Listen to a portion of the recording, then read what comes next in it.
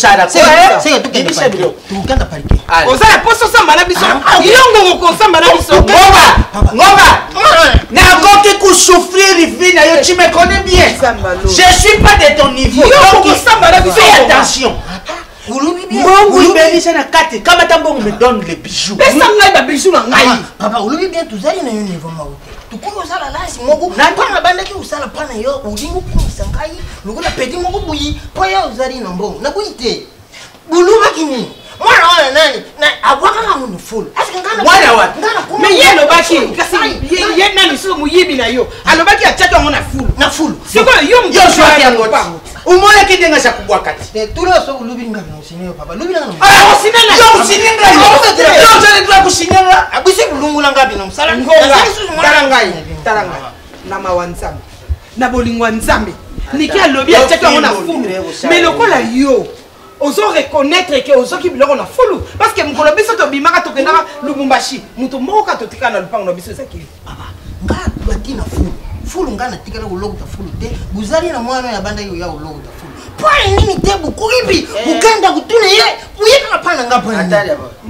Mukolo oyo mwana wana nakabilaka ye mbongo. C'était le jour là. Hein? Eh, mukolo oyo mukolo oyo tobanda kovoyage nde tobanda okende ayaka kobwaka poubelle azwaka poubelle opesaka ye 100 dollar akamataka amemaka biza totikali te asangisi bapoubelle sa wana kutu pese na bondi apesanga ata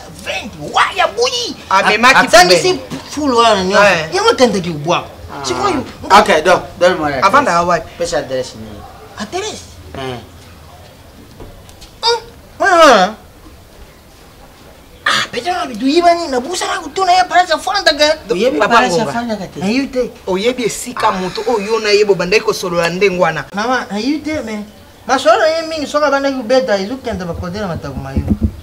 eh, kode na matako ma yo kode oyo bakamata babiso ozali na précision te eh, na kutuba matadi ma yo yake nene te matadi ma yo ezali partout parci parlange yake ya nene kote ya mama mobutu ah. masoko naloba combien de fois totya babiju wana na banke combien de fois naloba tala siko esika tokomi lelonaza na besoin babiju na ngai nazongeli me message ah, naza na besoin biloko na oh. ngai naza eloko mosu ya koloba te naza na mposa biloko na ngai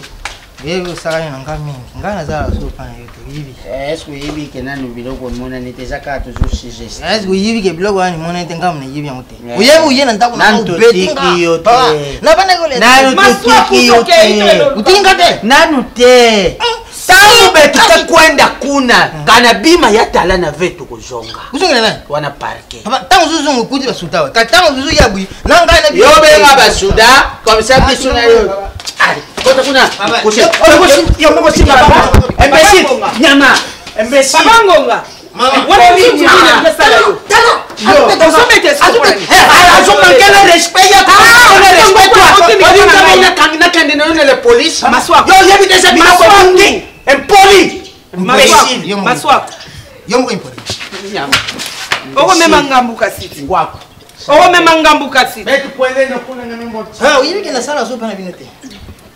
Oui,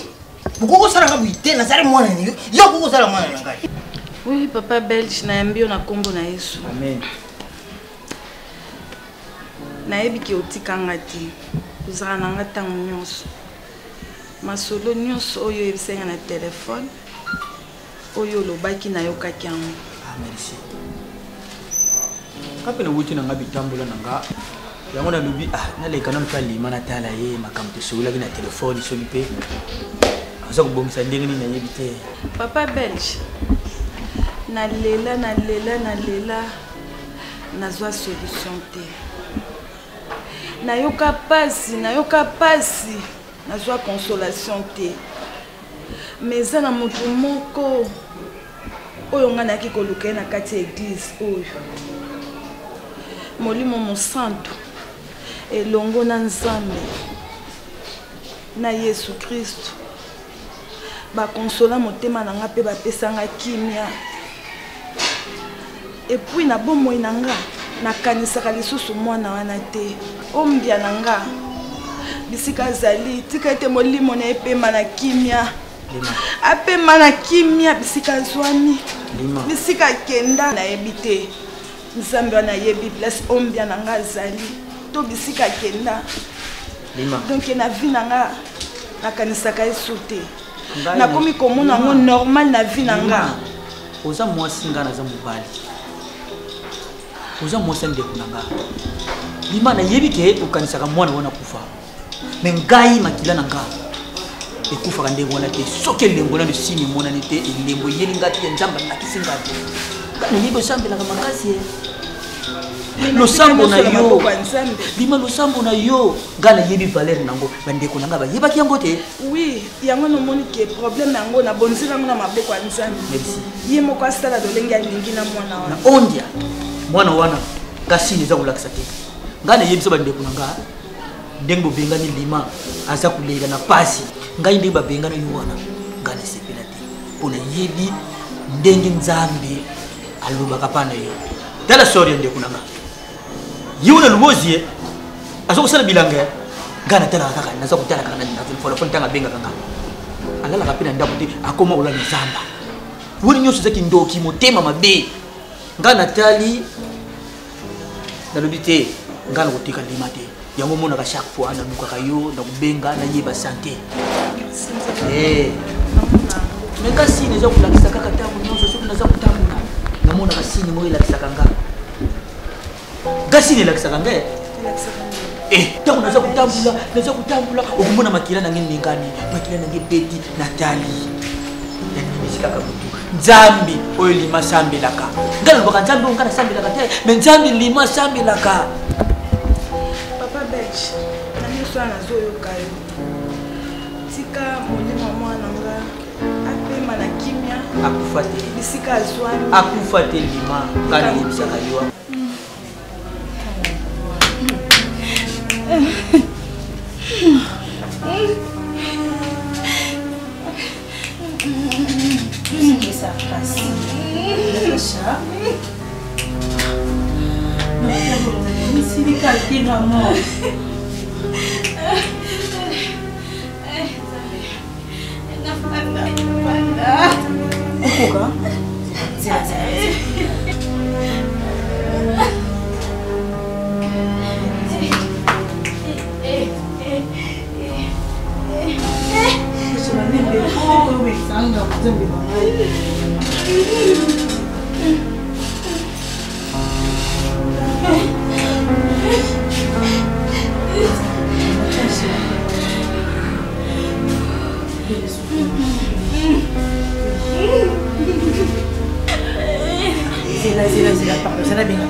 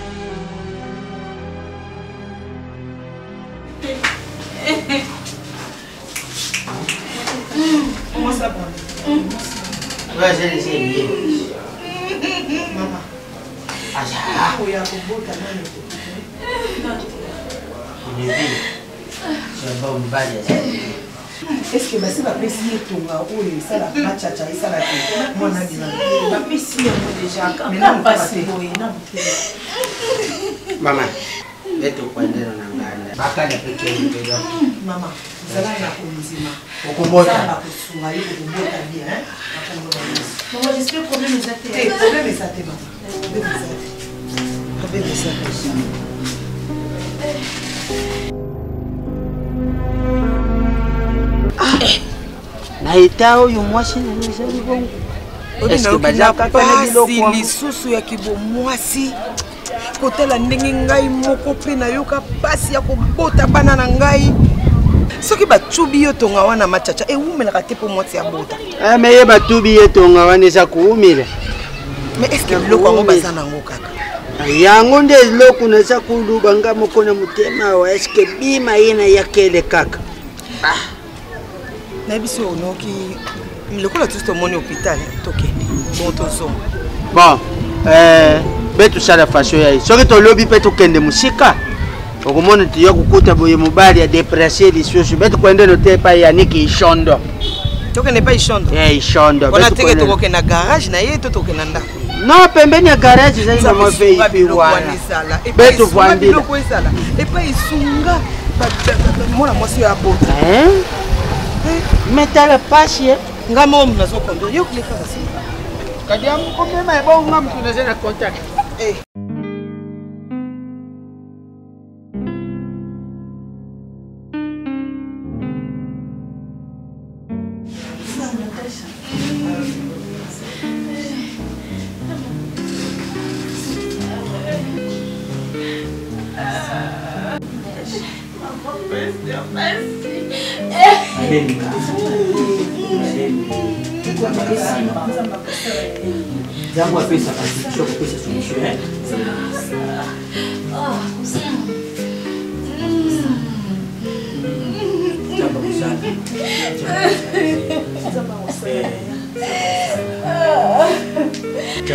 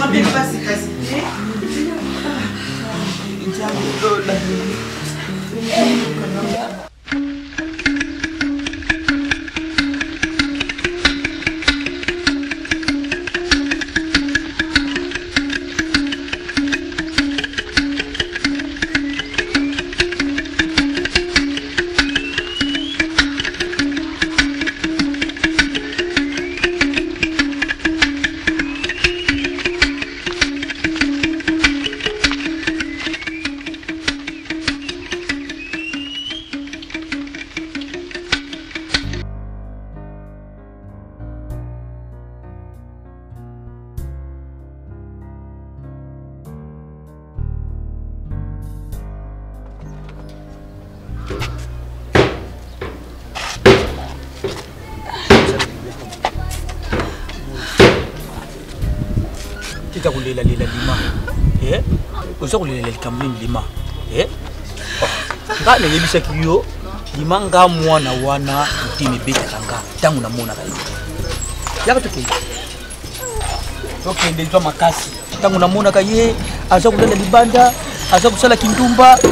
mwana sege nga ntango naza komona nga naza kotala motema na nga motema na nga elobaka mwana oyo aza keleke sozi yo mokomoni tala nzambe nzambe ya lola eloko asalaka nzambe akokisaka makambo na ndenge na ye lima oleli mingi mwana na nga kenda wapi oyo ya nga na bota nefi mwana mema nga mpasi na motema eh? nga losambo mpe ya nzambe nalobi nzambe nzambe lola nzambe lola ngai mwana ndeko na nga mwana ndeko na nga mwana grand frere na nga kobunga ndeko na te makia na biso ebungaka te tala nzambe ndenge alakisi nzambe ayeli biso mwana kaka na makolo na yo moko papa belge nayebi te nino nga nakoki kopesa nzambe oyo naleli bambula ebele ah, famille na biso famille na biso toyebi kisi te toyebi monganga te famille na biso naleli bambula ebele nanyokwami libala na ngai ebeba boboya nga bandeko na bandeko na aboya nga mwana ezongi likolo ya mwana ah, nzambe oyo toseli mwana oyo boye nzambe apiniri ye nzambe apiniri ye makasi nzambe merci papa belge ntango nga namona mwana na kati ya eglize na nga motema na ngai ebandaki kotuta mpo na ye difikilte nyonso oyo azalaki nango na ndako na ya libala mwana na bandaki koya koyebisa ngai meme ndenge aye kobota boye bakapasite ezangaki epuis meme na eglise topesa ye communike mpo basunga sere natasha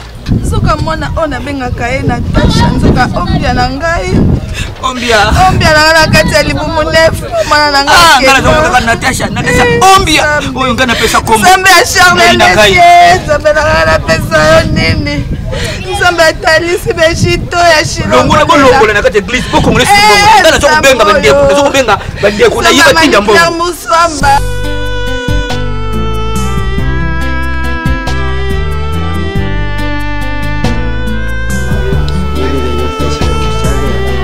mosala to yo moko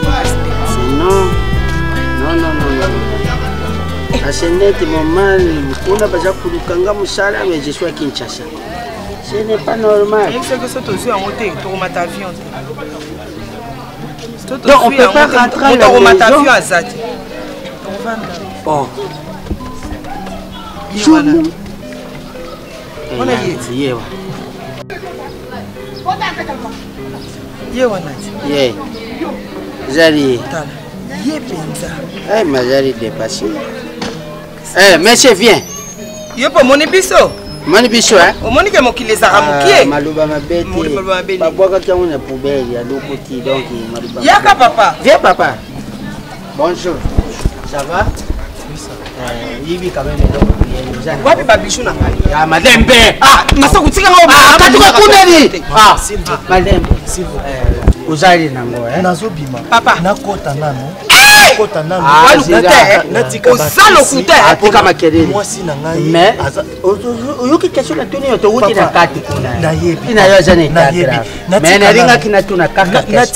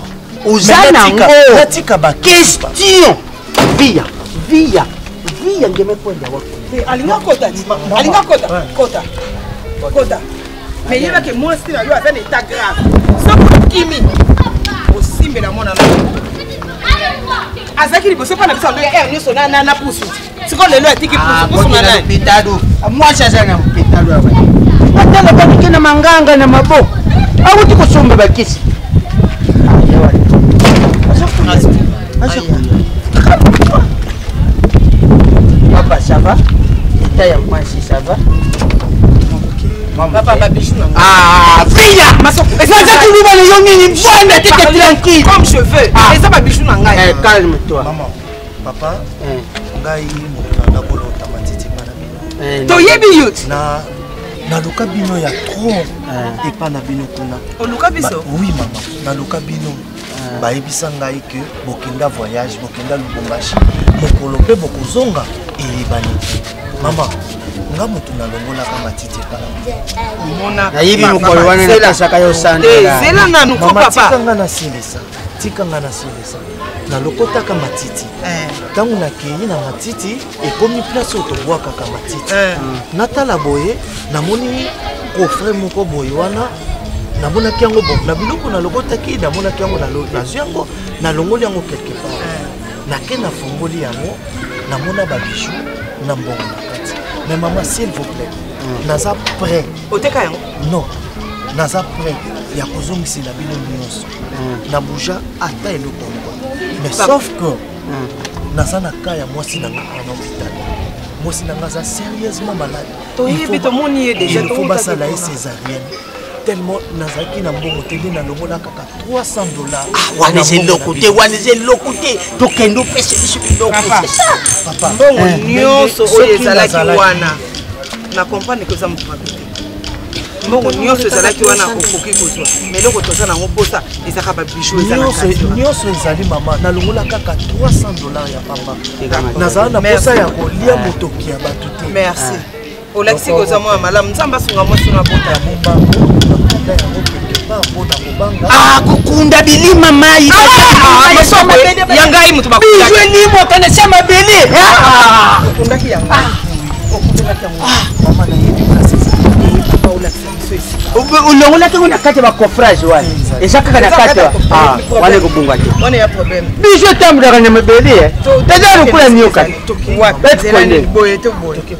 boye boye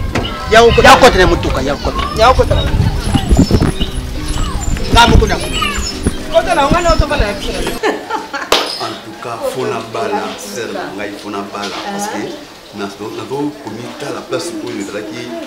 sel na biso ceci ngwala na mobali na ye ya lube non ezalaki kitoko makasi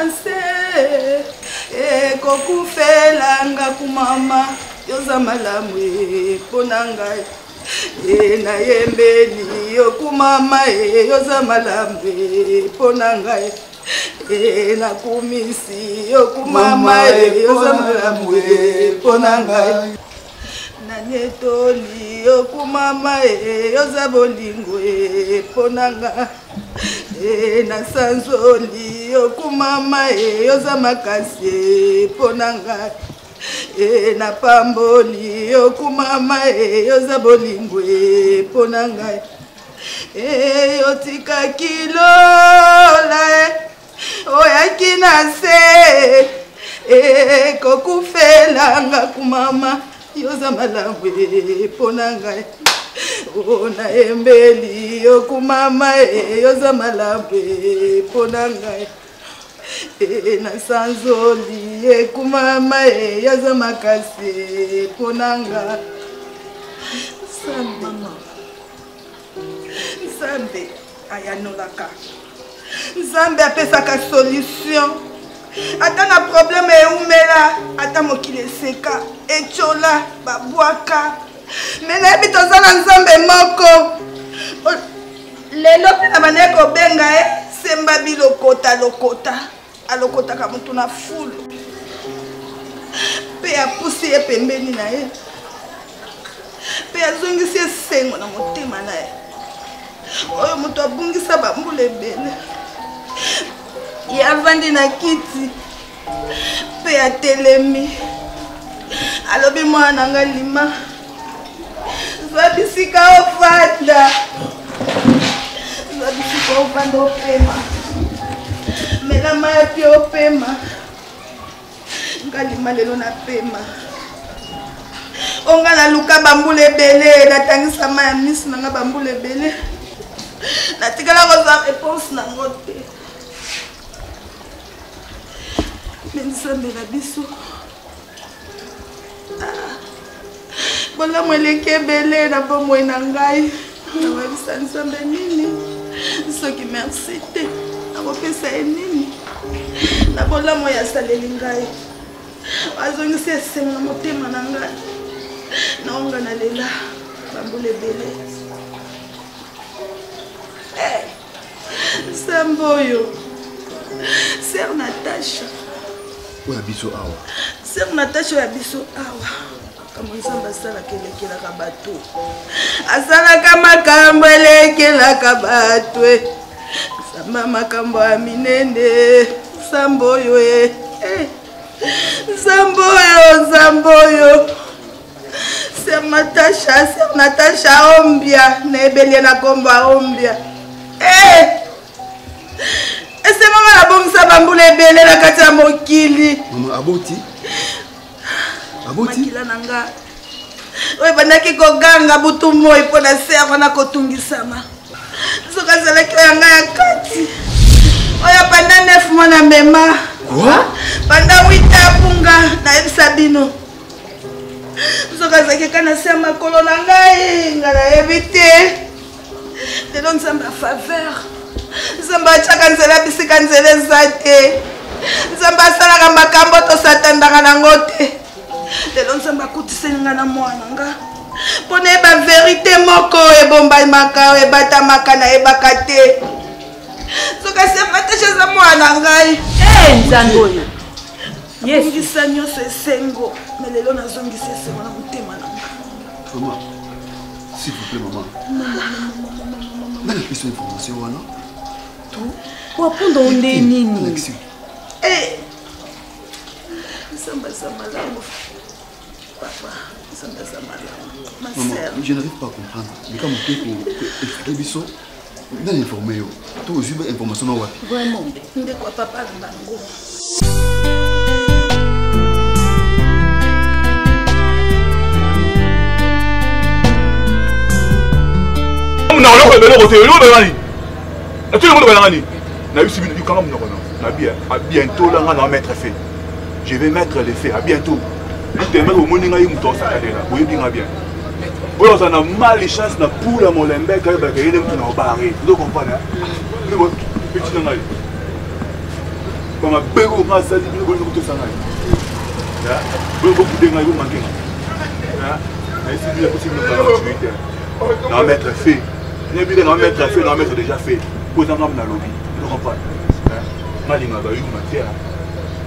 na demontre bino ke nga na saba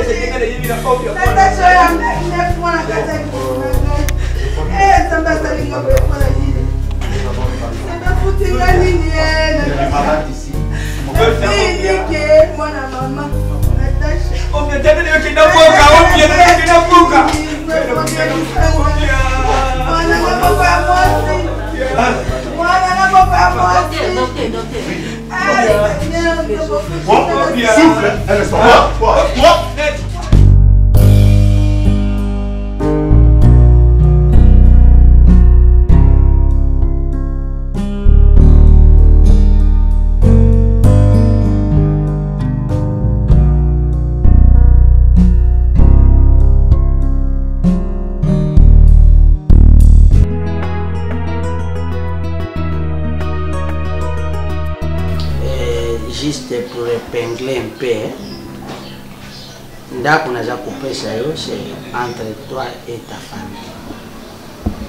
et na mosala kuna place nauti kopresente yo c'est toi le dg mais désormais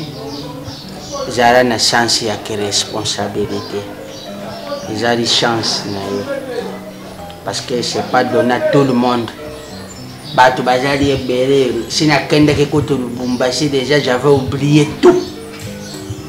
elingaki kaka natinda mwana moko aya boye na kisasa ya kogere biloko nyonso me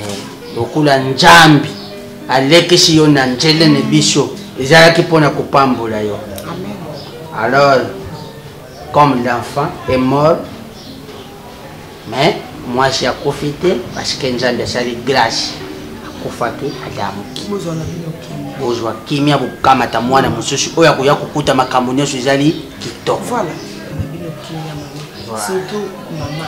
mama natasha biso basi soki likambo boye ekomi nde tolataka makambo tokotisi yango na motema ekomi ya biso nzambe ayebi mpo na nini asali ngai nazokontinue koremercie nzambe na coffre monene oyo na babiju ebele oyo ezalaki awa ke mobali na yo abombi yango ti toye kozwa yango toke tokundoli tomoni mpenakundaki yango na kati ya libulu akundi atie biloko atie fleur likolo lokola likambo eza te torekipere biloko na biso biso mpe tobi lokola nzambe atiaki bino motema ya kobomba po biso toya kozwa yango nzambe wana mpe atie na motema na biso na motema na biso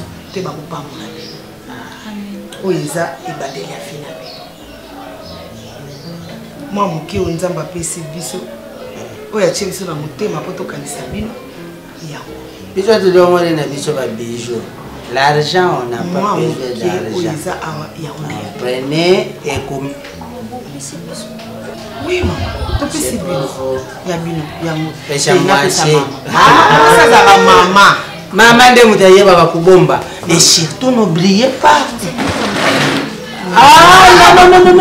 kofukama te kofukama te et surtout eloko naza kofelicite oyo ezali malgré la souffrance mm. malgré makamboofandi na mobali na yo malgré moto apusu na otali moto apusu te otali avenir ya lobi nzambe akoki kokanisa bino et c'est ça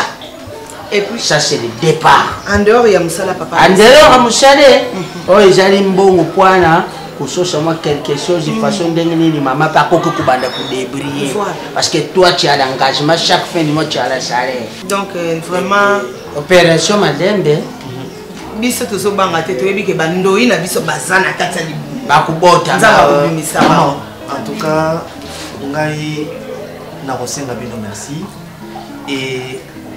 na nyonso oyo bosali mpo na biso antuka merci beaucoup mais nalingaki mpe nasenga bino eloko moko uh,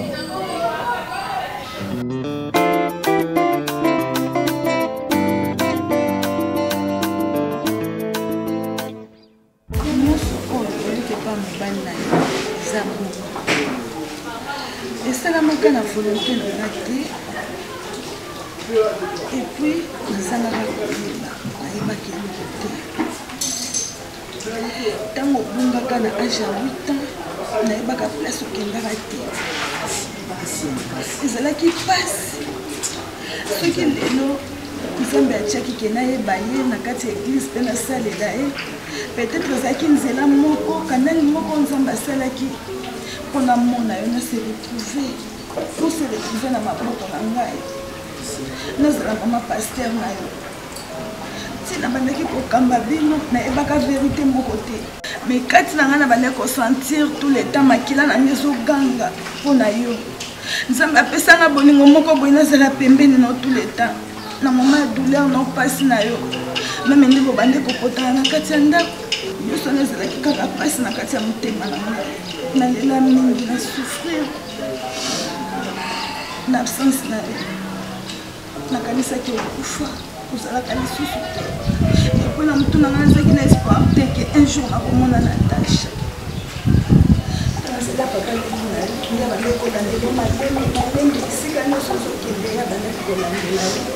mpo bandaki koyeba te soki etende na ngai nabongisa mokota nazoya nakutani kotala yo nakutani na ya nzela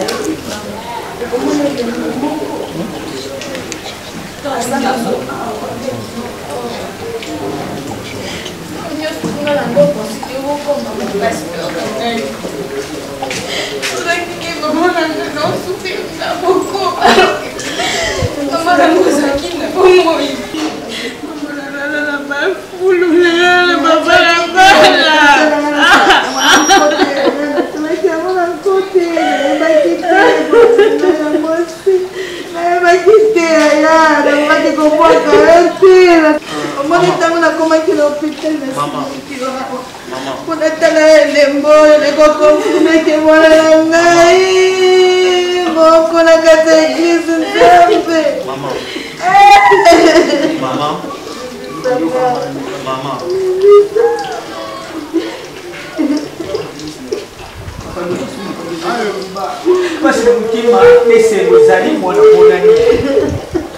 ngesengo na ngai ndenge namoni kwamili na ngai Natasha. Mama. Ah. Papa, pardon.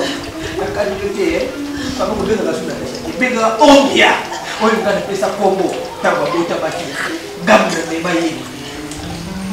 Moi je pense que makambo ya kolela eza eza lisusu ba solution te parce que malgré toyebaki te ko yo nde ozali mama biologique ya Natacha mais ngai okonsidera biso lokola bana na yo obandaki kosala nyonso oyo euh, mama asala mpona bana na ye bon nzambe nde alingaki kaka toleka na nzela na yo po toya kocomprendre lelo ke yo nde ozalaki mama moboti mama biologique ya natasha eza makambo ya kolela te eza kutu makambo ya kokumisa nzambe mpo nzambe abateli biso na baetape oyo ngai na natasha tolekisi nde mosusu tokokaki kutu kozala envi te mais soki toza envi boye parce que nzambe nde moto alingaki tozala tosepela parce que tomonani et puis to comprendre réalité nyonso ekomelaka biso na vie ezalaka mpe kaka volonté na biso te ntango mosusu nzambe alingaki natasha aleka na banzela oyo aleki po aya kocomprendre monene ya nzambe euh, toza nca famille ngai nalingi nasenga bino natamboli mingi na natasha navandi mingi na natasha e naye kocomprendre ke natasha aza mwasi ya kitoko te natasha azali mwasi oyo abongi azala na ndako na ngai yango nazo anonse bino deja ke bobo mama bientôt la tozo prépare libala na biso na natasha